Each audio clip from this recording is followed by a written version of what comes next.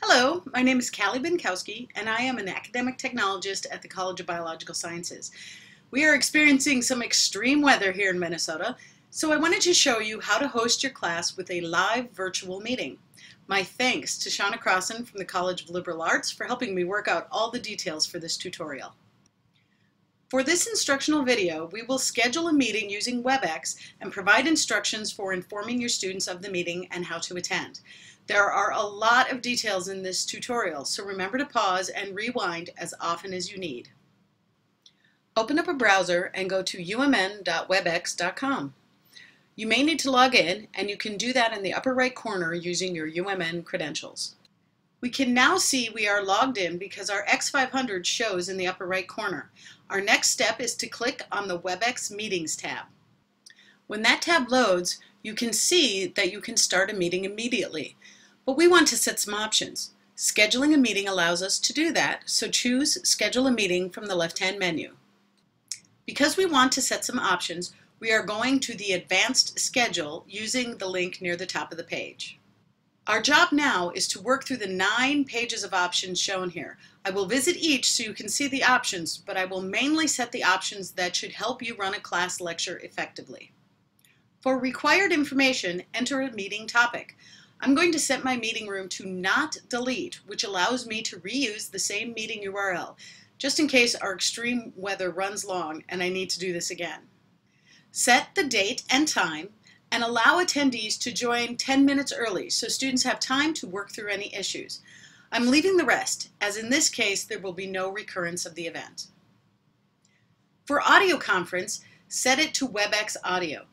This should show two checked items that allow students to dial in if they cannot connect via their computer. Change the entry and exit tone to no tone. Under Invite Attendees, we are going to send a copy of the invitation to me, just so I can have the information about the meeting readily available. If you are going to have someone help you with the chat or have another presenter, you need to add them here so they can also be an alternate host. Click on Select Attendees. Put their name or X500 in the search box. Highlight their name on the left and click Alternate Host in the middle to move them to the attendee box. Click OK in the bottom right corner. We can skip registration as it is set by default to none, and agenda and welcome as we are doing a one-time thing. Under meeting options is where we will turn off everything but chat and video. I'm going to uncheck high quality video too, just to lessen the load on students' internet connections. Videos will allow students to see you and your PowerPoint. Chat will allow students to ask and answer questions, which is great for troubleshooting. Best practice would have someone in the room with you monitoring the chat to know questions and comments and get them to you when you have time to deal with them. It can be hard to do that on your own as it can be distracting and it scrolls past pretty quickly at times. For attendee privileges, we are going to remove all check marks except the ones at the bottom of the list that allow students to chat. Finally, we are on review, and here we click schedule the meeting. The new page shows the meeting.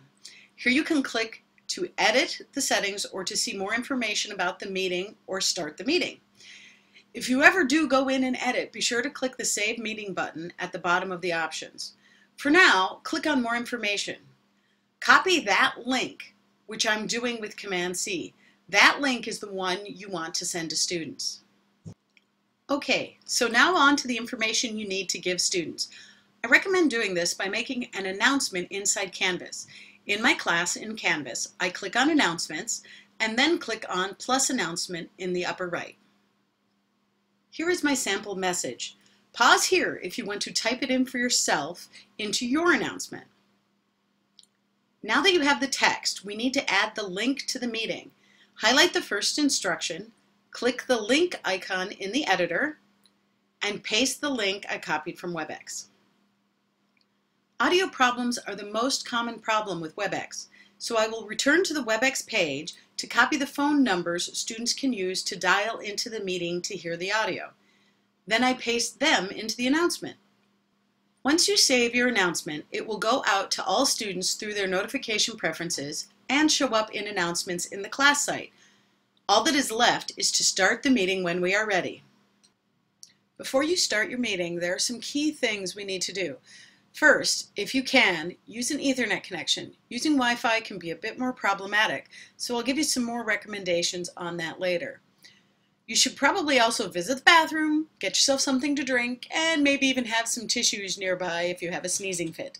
Everyone has some version of these tips. You also need to get your presentation ready. So open up what you would usually use as your slideshow and have it in a window ready to go. Here's mine, all set to be started. To start your meeting, go back to umn.webex.com. Once you are logged in, click on My Meetings in the left menu. Your meeting will be listed and you can click Start right from there. Clicking the name of the meeting will get you to the meeting information page which has the links, phone numbers, and edit option. Click Start to begin. You may have to install an extension. Once your meeting is generated, you will see your connection options. Leave audio as call using computer, and for video, change it to FaceTime camera or whatever camera you are using.